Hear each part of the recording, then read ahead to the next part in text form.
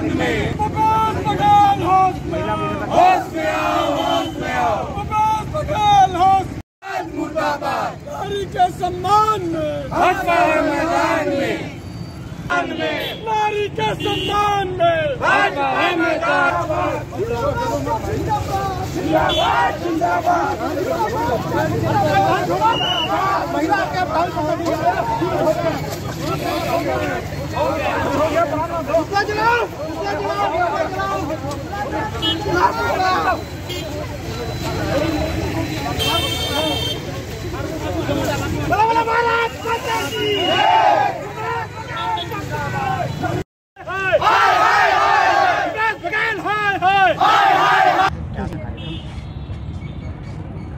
ये अभी कल रामनगर में सीएम जी का कार्यक्रम था भेंट मुलाकात कार्यक्रम। वहाँ एक महिला महिला के द्वारा समस्या को आ, महिला एक अपने समस्या को सुना रही थी। वहाँ अपने जो छत्तीसगढ़ के कांग्रेस की सरकार जो सीएम है वो उन उस महिला के साथ बहुत ही अभद्र तरह से बात किए बहुत ही उनके साथ गलत तरह से बात किए उनको एक नेतागिरी मत करो लड़की मतलब एक सीएम का उस तरह से कहना कितना ही गलत बात है। आ, उसके संबंध में आज हम महिला मोर्चा के द्वारा आज सूरजपुर के जिला मुख्यालय में पुतला दहन का कार्यक्रम किए हैं। कौन थी महिला किस संबंध में आई थी वहाँ पे?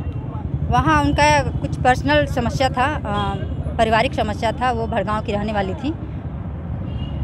जी। प्रशासन को सामने ला करके भूपेश बघेल इतना घबरा गए इतना डर गए हैं। कि पुलिस फोर्स को लगा करके, पूरी महिला पुलिस को लगा करके यहाँ पुतला को बचाने का प्रयास कर रहे हैं। पुतला तो बच गया है, बच जाएगा, पर भूपेश बघेल नहीं बचेंगे। एक नारी का अपमान करना रामनगर में सूरजपुर जिला, जहाँ सारा महिला का सम्मान करती है, मातृशक्ति का सम्मान करती है, उस ज़िले में आकर के उन्होंने जो इस प्रकार की टिप्पणी करना कि नेतागिरी करवाती हो, नेतागिरी करने आई हो। किसी महिला का अपनी समस्या लेकर आई है, अपनी प्रताड़ना से पीड़ित है, परेशान है, और वो दो दिन से परेशान थी, उनके पीछे पीछे घूम रही थी और उसके बाद वो अपने रामनगर में आई है, उसकी बात को नहीं सुनना और उसको दुत्कारना, ये बहुत गलत है। और मेरा मानना है कि एक नारी का अपमान नहीं है, पूरे नारी समाज का अपमान है। और जो पचास प्रतिशत जो हमारे नारी समाज वोटर के रूप में है, और उनका उन्होंने अपमान किया है, और हम महिला मोर्चा की तरफ़ से भारतीय जनता पार्टी की मांग करते हैं कि भूपेश बघेल को इसमें क्षमा मांगना चाहिए, अपनी बात वापस लेनी चाहिए नहीं तो ये हमारी लड़ाई आगे भी चलती रहे। हमसे जुड़े रहने के लिए हमारे YouTube चैनल को सब्सक्राइब करें और नई वीडियो की नोटिफिकेशन के लिए बेल आइकॉन को दबाएँ। अगर आप ये वीडियो Facebook पर देख रहे हैं तो लाइक ज़रूर करें और ज़्यादा से ज़्यादा शेयर करें धन्यवाद